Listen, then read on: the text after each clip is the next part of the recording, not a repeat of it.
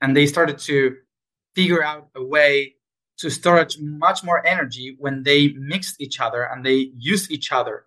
The minerals, you mean mix the, the minerals. minerals. Yeah, yeah, the minerals. So they created this this link that we call love, which is basically the exchange of energy, the exchange of energy to one another. Is the pulse, the constant pulse of exchanging different amounts of energy to one another. So I have a lot of energy, you have less energy. Let's share that energy. And that, it's love. When you become more conscious, you need a lot of energy. So you will need people that has the same amount of energy or higher in order to transcend to this to the next step. That's why we break up.